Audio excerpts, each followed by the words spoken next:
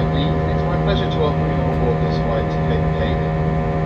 Working alongside me today we have Holly, Mohammed and Melanie. A special welcome to those of you returning from our executive club and those of you joining from our oneworld partners.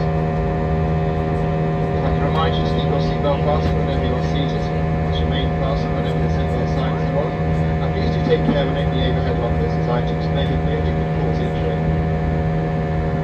As a reminder, smoking, including e-cigarettes, vaping and the use of other smoking devices, is not permitted at any time whilst on board, and this includes the toilets which are fitted with smoke detectors.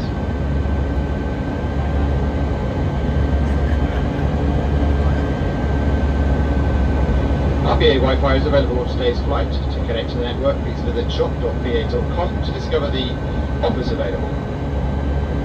All phones should be placed to silent to avoid disturbing other customers and video and phone calls are not permitted at any time during the flight.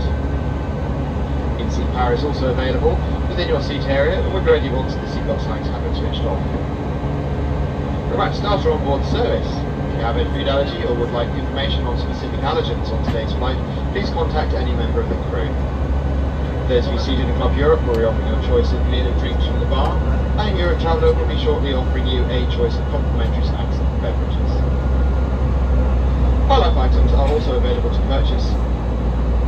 If you would like to see what items are available, please look either at the menu in your seat pocket or visit shop.ba.com High Life to see the items available.